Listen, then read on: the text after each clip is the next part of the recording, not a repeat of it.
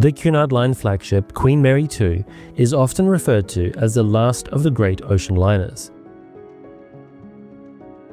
Ordered by Cunard in the year 2000 and built at Le Chantier de l'Atlantique shipyard in France, Queen Mary II is the first true transatlantic ocean liner put to sea since QE2 entered service in 1969 designed by Carnival Corporation's chief naval architect Stephen Payne, who oversaw a team of naval architects. QM2 is a feat of marine engineering and has an expected service life of at least 40 years.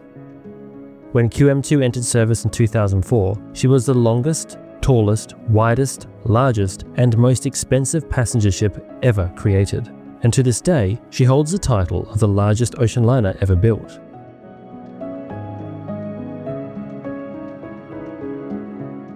In the years since, the ship has become a firm favourite among thousands of travellers across the globe.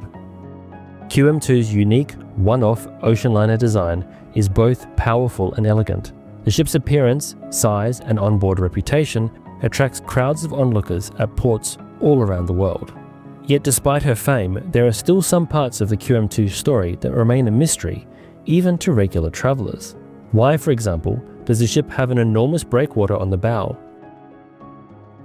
why were pods selected to move the ship rather than propellers that had been used on all transatlantic liners before her? What is the connection between QM2's luxury spa facility and the ship not having a rudder? And what's with the ship's unusual layout and the strange corridors to access the Queen's Room? To answer these questions and more, I spoke with QM2's designer, Dr. Stephen Payne.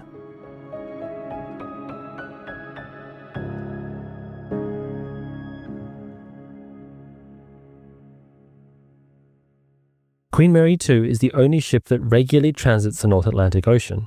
This route requires the ship to be able to handle rough and stormy weather that the Atlantic is known for. As the first true transatlantic liner to be designed in a generation, Stephen Payne says that looking back at the success of liners of the past was essential in designing Queen Mary 2 for the future.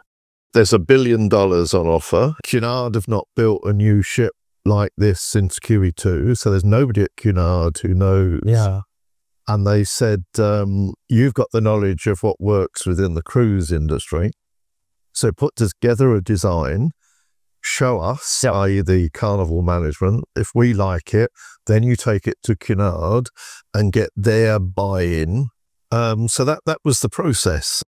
One of the things I did was to look at as many of the older ships as possible, find things that had worked on them and then bring them together into Queen Mary 2. Having sailed on Rotterdam, the old Rotterdam, her forward end was enclosed um, or semi-enclosed. So that that's why I got inspiration for doing the the boat deck layout of, of Queen Mary 2. And then various other features. I wanted the the bridge to you know, um, have some similarity with QE2, but of course we have to have the enclosed bridge wings now to protect all the electronics. The mast I wanted to look like QE2, and of course the funnel.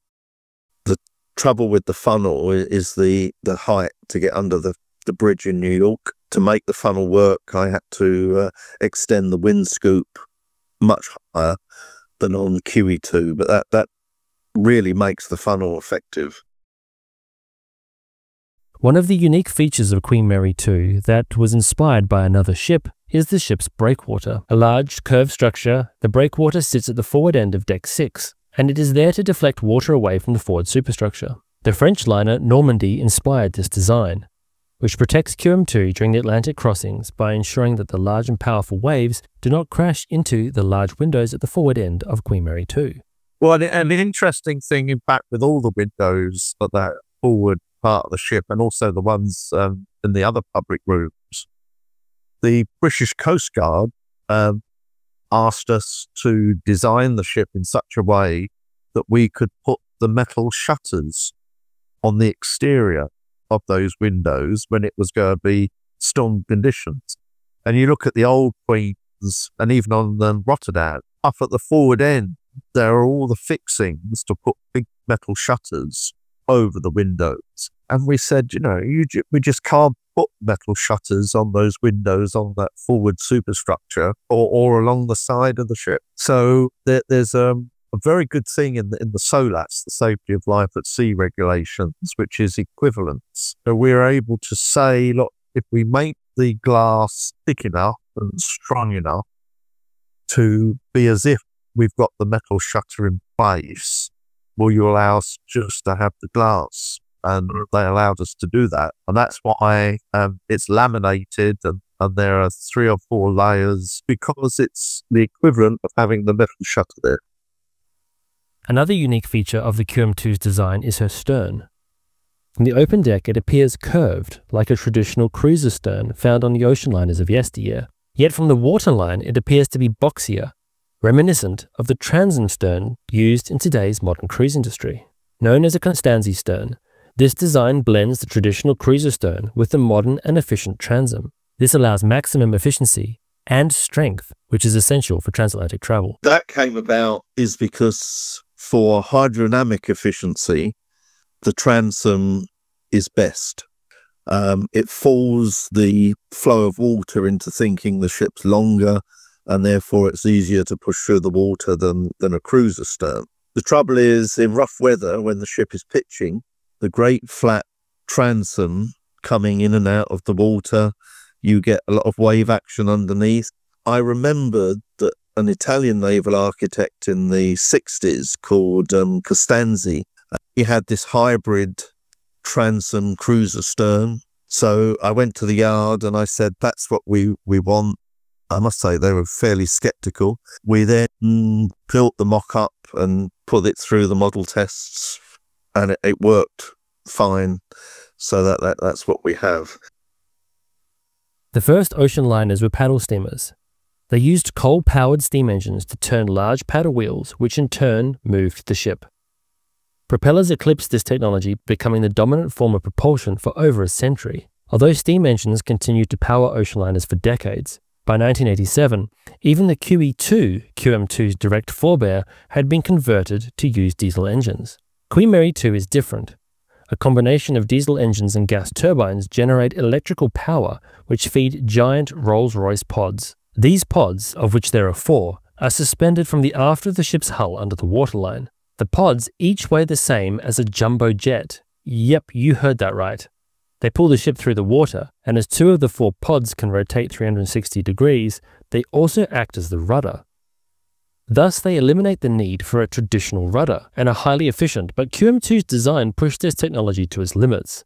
Never before had pods been called upon to drive an ocean liner across the Atlantic at speeds of up to 30 knots. Using pods, we, we save about 7 to 8% fuel compared if we just had normal shafts. She needed the four because of the power required.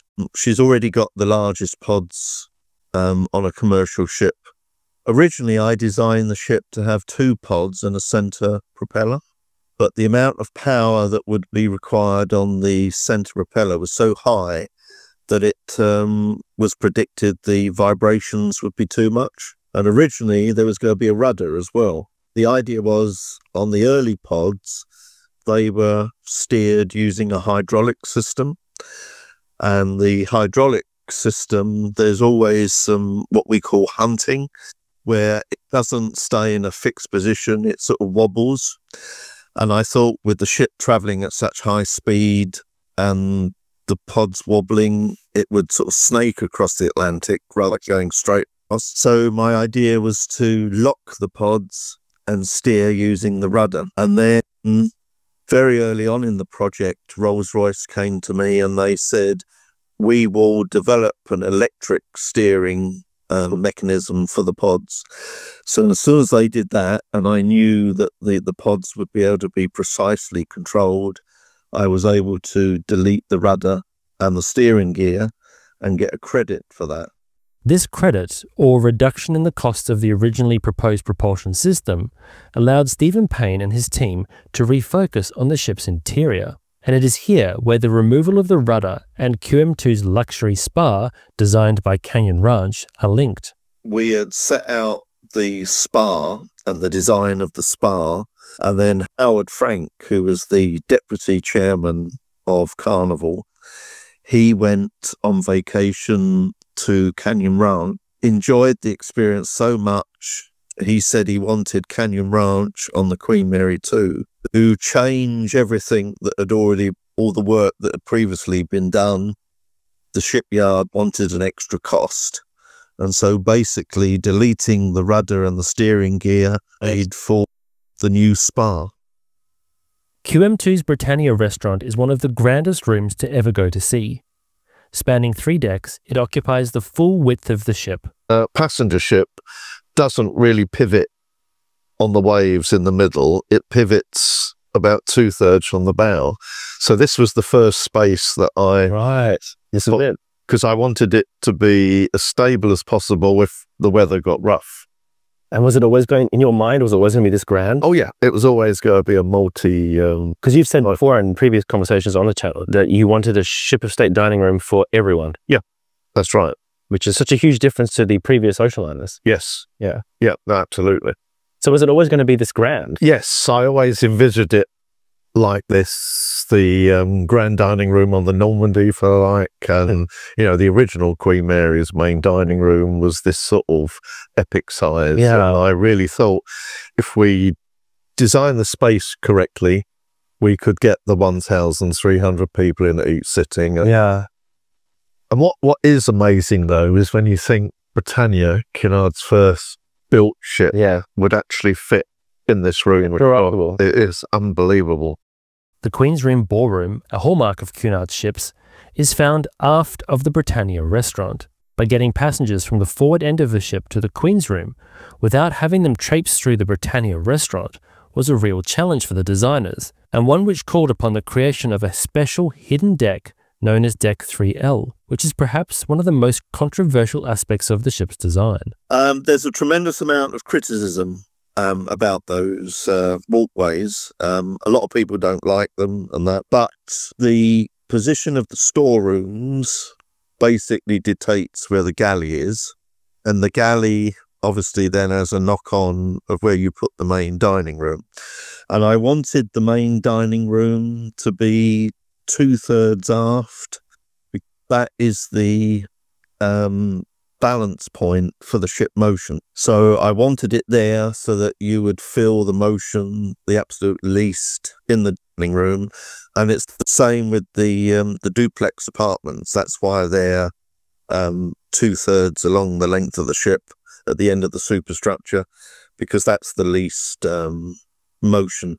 So that was there. And then obviously we forward of that we have the um, the chart room and Sir Samuel's and the Golden Lion on on the deck below, and we were trying to find a way for people to get obviously past the dining room into the Queen's room, and with that um, dining room being so big, and the four and a half meters of each deck and having two decks, um, I forget I must admit, I didn't come up with the idea of, of having those sort of hidden walkways. Sure. Uh, but um, it was a brilliant idea, and um, yeah, work, works very well. Queen Mary 2 is a truly unique ship with lots of features to explore, and I hope this video has shown you just some of the things that make her unique. If you have any questions about Queen Mary 2's design, please ask them in the comments below, and I'll do my best to answer them. Anything I don't know the answer to, I'll pass on to Stephen Payne for consideration in another video. I hope you found this video interesting. If you love the Queen Mary 2 like I do, don't forget to check out my QM2 playlist. There's heaps of videos about the ship for you to enjoy. Thanks once again, and until next time, I hope to see you on board.